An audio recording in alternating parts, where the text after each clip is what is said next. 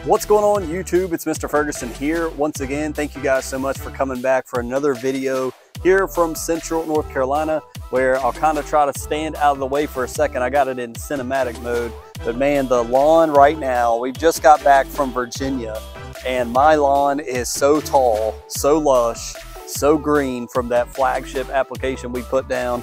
Um, we didn't have any rain, but I've been gone for two days and oh my goodness, I can already tell it's grown an inch.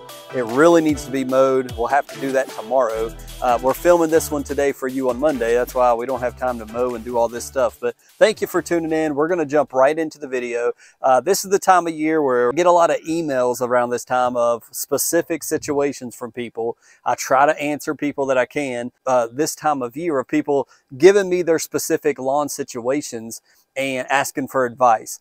And one of them, I think that I saw uh, uh, more than one person has asked about is Poa annua in their lawn. So I want to talk about today real quick about dealing with Poa annua in your lawn. We have to first know what Poa annua is. So I want to give you a brief definition for the new people out there. Okay, what is this thing? I see a seed head in my lawn. Um, well, that can be one of two things. If you have Kentucky bluegrass in your lawn, it can be your Kentucky bluegrass going to seed. It can also, if it looks like this picture right here, it's probably Poa annua. It is a lime green looking color. Um, it's, it's most of the time it has some pretty shallow roots um, and it's got a thinner or less seed head than a Kentucky bluegrass going to seed. Uh, so it is just, it sticks out. Um, if it grows tall or if it grows above like two and a half inches, you get that seed head. Those seed heads fall into our dirt. Um, they will lay dormant. They can lay there for years and not go dormant or not go or not germinate until next year, the following year, we don't really know. Uh, the issue, the problem with, with Poa annua, the reason why it is such an issue for all of us, it's what got me into lawn care. Some of my first videos was when TruGreen rolled up. You guys, some of you guys have been around the channel know when True TruGreen was going around my neighborhood, they came here, they looked, they walked, they gave me my square footage, which I was literally going outside to do that day. I've told that story. Um, but the guy basically said in my backyard, you've got a backyard, this whole backyard was full of Poa annua. Everywhere the eye could see, literally from this side of my house back here, everything was Poa annua. I would say 25% was, was fescue grass. And it was like literally 75% Poa annua. That's how bad. So I am proof and evidence that if you're struggling with Poa annua, you can turn it around and you can have a nice green fescue lawn without all the Poa annua. It can be done. I've done it here. So we know the second thing, it's a cool season weed. Poa annua begins to germinate in your lawn. If you're here in North Carolina, for us, it happens right around, we read that stat from NC State, 1 September to 30 October is when 80% of our Poa annua germinates. So you're too, too late, you're way too late to stop it from popping up in your lawn. What is germinated is germinated. So this started in the fall time and now when you're coming out of your house, you're trying to get into the lawn, it's getting nice outside. Now you're noticing it. Well, it started developing in your lawn way back September, October timeframe. That's why in my lawn, we did pre-emergent. We didn't do overseed. I made the decision to put down dithiopyr, which is a pre-emergent, and that's why I don't have any back here right now. Um, so we won't get into all the things we've talked about recently. A thick lawn can also prevent it. That's the first thing I can tell you. I'm going to be overseeding this year, and so I'm going to be overseeding heavily. I want it to thicken up in my lawn because I want to be able to choke out. I don't want any space for the weeds. But let's get back to the topic. Okay, so I've got Poa annua. You're telling me that it began to develop in September and October, but I'm seeing it in March. What do I do? Well, really, there's really only two options, I would say. Well, let's go through the options. Number one, number one, you just got, you can just deal with it. That's what we're doing at the project lawn. I'm not spraying anything. We've got Poa annua in the project lawn. Go back, check the update, the last update we did here on the channel. I've got Poa annua in the project lawn all along the fence line there. Um, and so we're just going to suck it up and deal with it. So that's one option. Number two, if you want to try to begin to try to kill it, uh, suppress it, um, then we'll talk about tenacity. That is an herbicide that is very popular to kind of fight against Poa annua, and I'll get more into that in a second. But ultimately, the, the Poa annua is likely here in North Carolina, I've noticed, and I've kind of kept my eye on it. When does it start to die out? I've just told you that it's a cool weed, cool season weed. So that means it prefers to, it starts germinating in the fall and the cool season. And then once it starts getting into spring and summer, it dies, it goes away, and it begins to germinate, germinate again. It'll start again this, this upcoming September. So the heat alone will kill the Poa annua. It will begin to go away. And basically what you deal with, crabgrass and Poa annua are basically like brothers in my mind. Um, one germinate, the, the Poa annua begins to germinate in September and here we deal with it in the winter and into the early spring crabgrass begins to germinate uh, when temperatures get uh, around 55 degrees. That's somewhere around the end of February here in North Carolina, and we deal with that all the way into the fall. So you're dealing with one or the other, and most of the time, if you're going to overseed, you can't do pre-emergent all the time, but when you can, you can prevent one or the other. So again, that's another thing you can do there, pre-emergent if you're not overseeding. But I want to talk to you guys about um, tenacity specifically and I've got it pulled up here on the uh, the little uh, iPad I've got here that I can read this. Um, I am an affiliate of DoMyOwn.com. Please, as I always say, do your research. If you're interested in Meso, the generic version, or Tenacity, there's links in the description of this video. If you're on a PC, just click more. You'll see the links. Uh, that helps me here on the channel. You're just basically buying it through my link. You're helping me out as well as getting the product you want. But do your research. You may find it cheaper on Amazon. You may find it cheaper in other places. Um, I have a bottle of Tenacity in my shed behind me here. Actually, be over here, but I hardly ever use it. Um, so I want to tell you about tenacity. So if you're one that's like, well, I can't deal with this. This is driving me nuts. What can I do? Can will tenacity, the, here's the big question, will tenacity kill the Poa annua? I had someone comment on one of the videos and said, tenacity will absolutely kill Poa annua. No, it will not. Please don't believe that. Um, that is not true, and I'm about to prove it to you here in a second. So I'm going to stand to the side here and throw up the graphic from Do My Own. Here on their website, they're offering Tenacity 10% off uh, for an 8-ounce bottle, $49.98. Uh, that is up to you. Um, but let's go down. I just want to quickly read the product overview. Tenacity is a systemic pre-emergent and post-emergent herbicide for selective contact and residual control of weeds and turf grasses.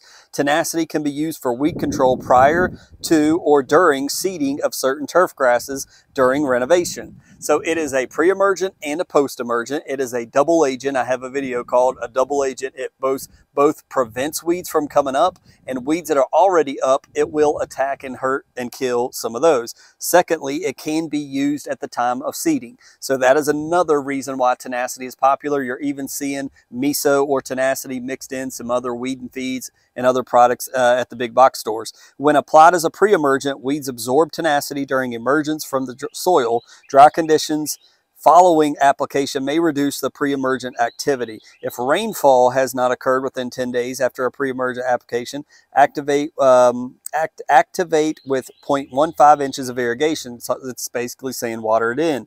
Um, when used as a post-emergent, which is what you would be doing if you have Poa annua in your lawn, um, Tenacity weed killer is absorbed by susceptible weeds through foliar contact and soil absorption. Foliage of treated weeds cease growth after application, then turn white, loss of chlorophyll and death may take up to three weeks. A repeat application is required after two to three weeks for improved post-emergent weed control. A non-surfactant should be added in post-emergent applications. So basically, this is an application you would spray it, it will cling to the leaf. They recommend a surfactant so that it clings to that weed and it will take two to three weeks. And they off and they also talk about how it will turn white.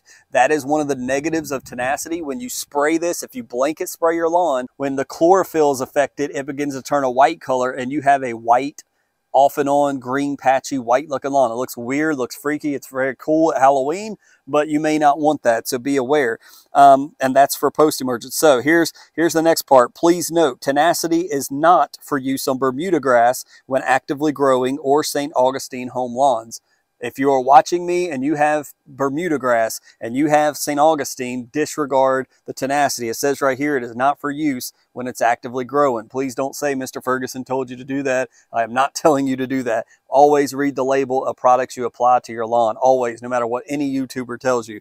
The second one here, oh, what does this say? Tenacity does not provide post-emergent control of Poa annua. It will only provide suppression of Poa annua when Poa annua when used as a pre-emergent. Tenacity does not provide post-emergent control of Poa annua. It will only provide suppression of Poa annua when Poa annua when used as a pre-emergent. So as a pre-emergent, meaning if we're going back to September um, when we seed, this is why I've put tenacity down. I got it. I never use it. When I do use it, it's when I seed in the fall. When That's why we put it down in the fall with our grass seed to prevent. At that time, right around the 1st of September, that's when um, Poa annua begins to germinate. So you're putting it down. It's giving you 28 days of at least suppression of the Poa from coming up. But after that, it wears off. If you don't do another application, then you're right back to normal POA annual germinate. Remember, 1 September, 30 October. That's a big window for POA to pop up here in North Carolina. Tenacity, one application is not going to cover that entire time. You would need multiple. Um, but as it says here, it does not uh, provide post-emergent control of POA. Um, the first sentence here. So if you have it right now in your lawn and you got tenacity and you buy a bottle from Mr. Ferguson's uh, links down there or wherever you may get it and you go and spray it, don't think it's going to kill the Poa. It will not kill it. Now, if you're going to do this in North Carolina in April, when we're getting temperatures in the 80s, you're hitting it with a herbicide and causing it to weaken. Now the sun is beaming down on it and it's crisping it up the sun plus the herbicide may kill it. And that's what I proved in one of my first videos here. I killed it, but it was like early May. So it was a combination of it was already dying, plus the herbicide just got it to go a little bit quicker than the sun doing it by itself. The target pest, uh, tenacity is not just for the suppression of Poa annua or a pre-emergent you can put down with your seed. It's similar in a way to Ornamec 170 it can target barnyard grass, which is what you see when you put straw down in your lawn and you see all those lime green little blades coming up, that's barnyard grass.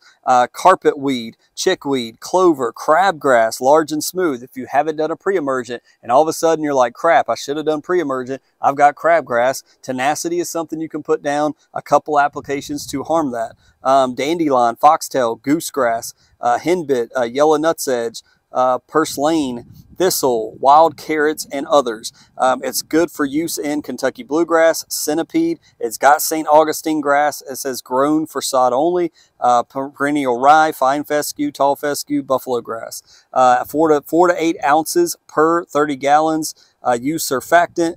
Uh, it kind of depends on what you're spraying for. If you're doing it for post-emergent, you want a surfactant. If you're doing for pre-emergent, uh, you would want to water that in. Um, and then lastly, that's about it. It gives you manufacturer and all that. So, so again, when we're talking about um, is there a magic herbicide we can spray in this spring right now where we are to get rid of all the Poa annua out of our lawn? The answer is no. Not that I know of. There may be a very expensive one out there that I can't afford. You can do some more research, but basically deal with what you have for now.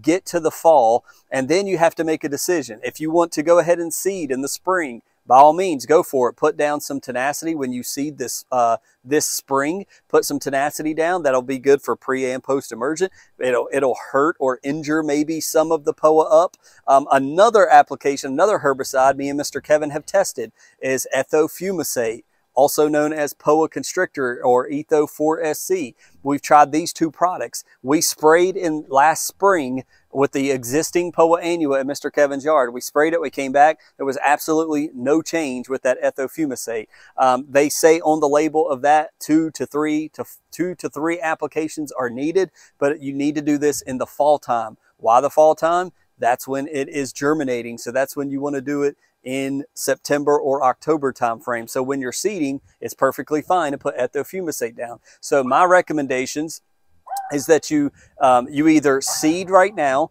and you may be able to keep that seed alive if you continue to water it. And then once we get uh, through summer and then get back into September timeframe, now you're looking at you can seed again if you want to. You can also put down tenacity. You can put down um, ethofumesate. That's what likely I'll do. I've got POA constrictor out in the shed. So likely what I'm going to do come 1 September, no more pre-emergent in the fall time for me. I need to thicken up my own lawn this year. So what I'm going to be doing is overseeding, which means I'm going to be susceptible to POA annua again, but I'm going to try the POA constrictor route. I'm going to try this ethofumesate, put that down uh, during my seeding or after my seeding. I'm going to have to brush myself up on the label and what it says there. And then we're going to go from there and see if the ethofumesate helps to reduce POA. And obviously we've talked about how high you cut your grass can affect uh, germinating or the sunlight penetrating through your grass. It can help to germinate those POA seeds. If you're cutting your grass below three inches and the sun can easily hit the dirt in your lawn,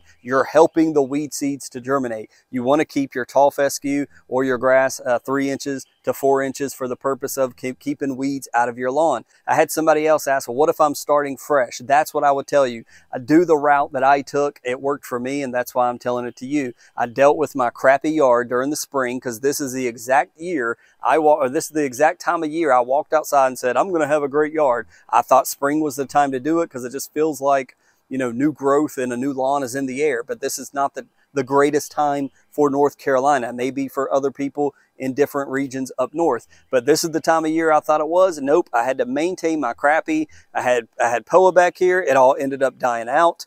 Um, and I was tell, writing to somebody, uh, Jesse, I believe. Shout out to Jesse if he watches this. I had to wait till about uh, mid-August. I came out here, round up the entire backyard, uh, and then waited until September, early September, rented my aerator. We aerated the whole property. Some of the areas where I had more fescue, I kept that fescue there and I killed off other areas where I hardly had any fescue at all. We aerated the whole property. I tore this place up for two hours running an aerator. Uh, we put our tenacity down. We put our seed down. I put down granular uh, starter fert uh, and I did uh, a shot of or a round of RGS at the same time. And even, believe it or not, propiconazole, the fungicide can also promote growth of grass seed. So we put all of that down. We kept it water. We kept the seed moist in September. And about 10 to 12 days later, we had growth. And, uh, and, and it's been a fun joy ride of lawn care ever since. So that's what I would recommend to any of you out there that's trying to get into the lawn care.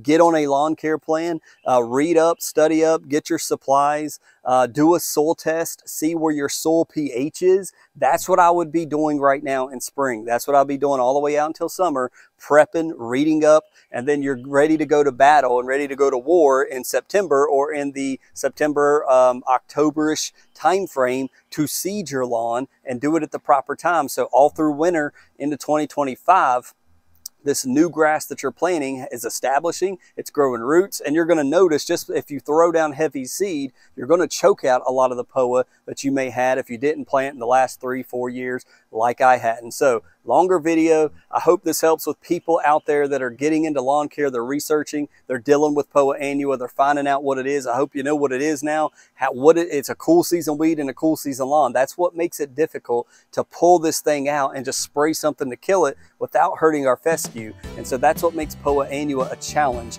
So I hope this has helped you. Let me know in the comments below. Give it a thumbs up. We are likely on Wednesday or Friday going to have the video that we're going to tell you what to comment on for our competition or for not a competition, our contest, uh, where we're going to pull five lucky winner names in a live stream and uh, we'll read them off and, and, and, draw them live. And we're going to have uh, Yard Mastery is going to send three lucky winners a bag of fertilizer, and GCI Turf is going to send a lucky person a Cyclone four gallon backpack sprayer. And I've got a two gallon sprayer plus uh, sprayer, backpack sprayer that I'm to be sending to a lucky winner as well. So God bless you guys. I know it's a longer video. Give it a thumbs up, comment below. God bless you. We'll see you on the next lawn care video, hopefully on Wednesday. Take it easy.